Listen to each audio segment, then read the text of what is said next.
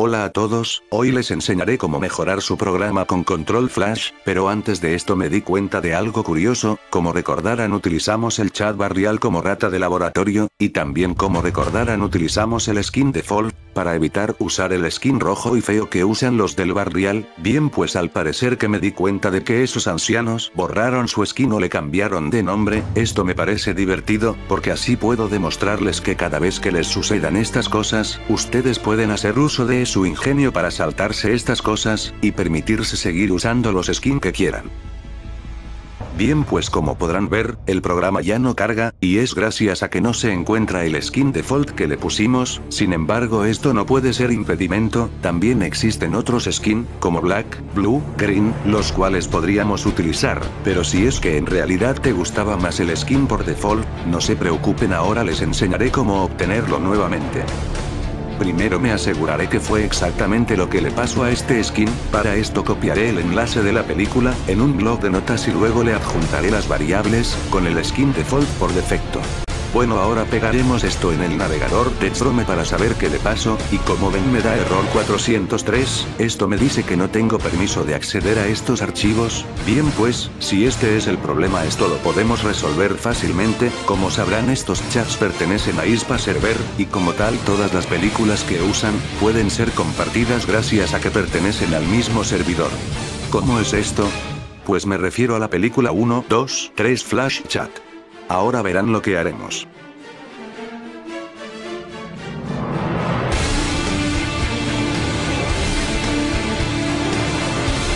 Como observan si le quitamos el skin inmediatamente nos carga el flash, y es porque la película principal la 1, 2, 3 Flash Chat.swf, carga por defecto el skin rojo y mierdoso.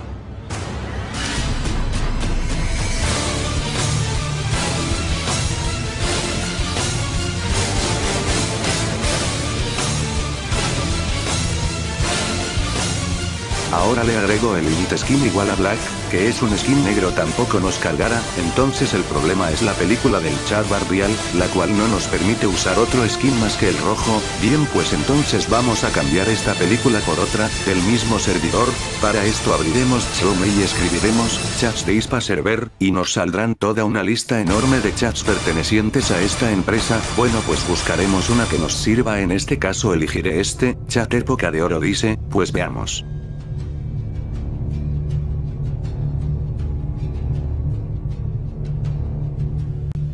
Este tiene el skin por default, y es justo lo que necesitamos, así que me iré a la herramienta de desarrollador, y le copiaremos su película Flash, y luego vamos donde intentábamos abrir chat barrial y reemplazamos el enlace de la película y esta vez sí usaremos el skin por default y vean lo que pasa.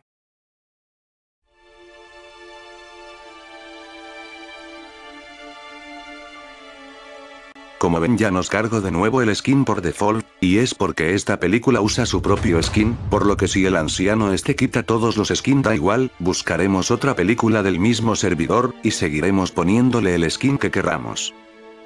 Ahora sí solo nos toca usar esta película para nuestro programa, ya que por medio de esta película cargaremos el servidor del chat barrial. Y como podremos observar el programa ya nos funciona nuevamente, como la ven ancianos del chat barrial, siempre les llevamos ventaja, mientras ustedes están de ida nosotros ya estamos de vuelta.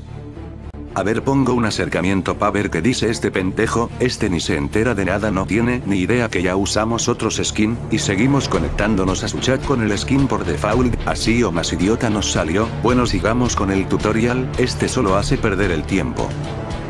Ahora sí vamos a seguir con el resto del tutorial, bien pues esta vez les enseñaré a crear un control flash en tiempo de ejecución, pero ¿para qué nos sirve esto? Bueno ahora les explico.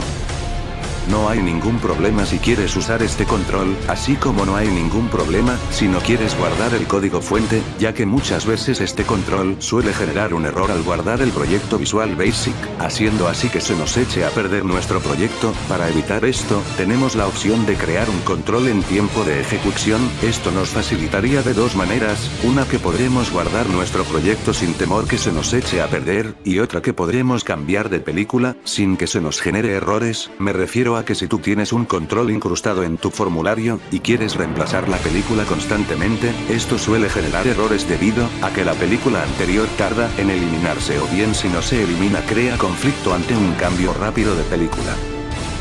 Bueno para hacer esto primero nos vamos al menú proyecto y allí elegimos la última opción, propiedades de proyecto, y se nos abrirá una ventana en la que seleccionamos la pestaña, generar, y allí deshabilitamos la opción, quitar información de control active X no usados, y le damos a aceptar.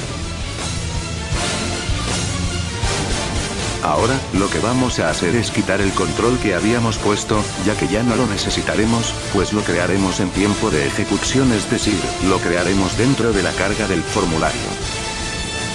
Primero vamos a declararlo para hacer esto escribiremos en la parte superior, dim espacio with events, espacio shockwave flash 1, espacio, as, shockwave flash.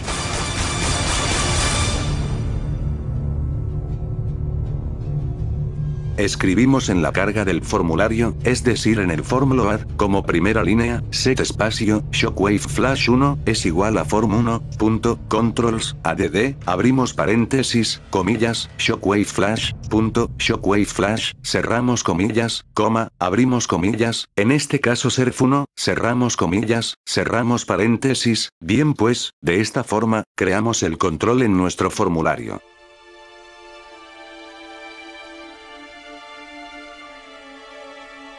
Ahora vamos a probarlo, pero noten que no se ve en nuestro formulario, y es porque este control por defecto está invisible, así que le agregaremos la propiedad visible con el valor en true.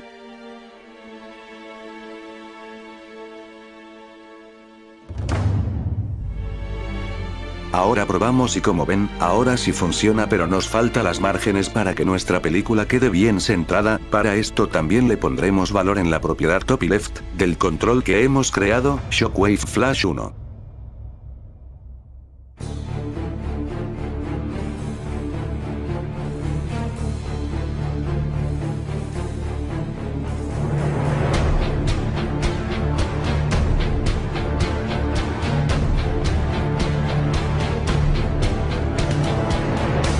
Listo ahora si lo probamos y veremos que nos funciona perfectamente, pero ahora tenemos que hacer que este control se deshaga en el momento de cerrar el programa, esto lo haremos utilizando el evento unload del formulario, este evento ejecuta un código al cerrar el formulario, así que allí dentro escribiremos un código para que deshaga este control al momento de cerrar el formulario.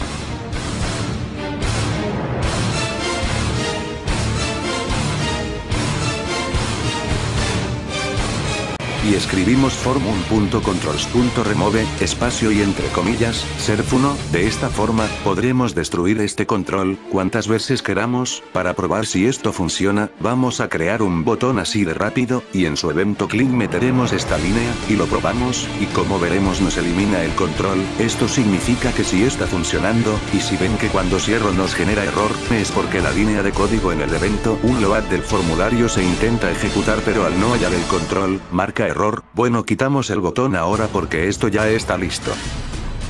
Bien, eso es todo por ahora, este proyecto ya podrá ser guardado, este código se lo pegaré en la descripción, por si quieren usarlo, como ya les dije solo pegaré hasta que la cantidad de líneas me lo permita, procuren tener siempre un código sencillo, suerte y hasta la próxima.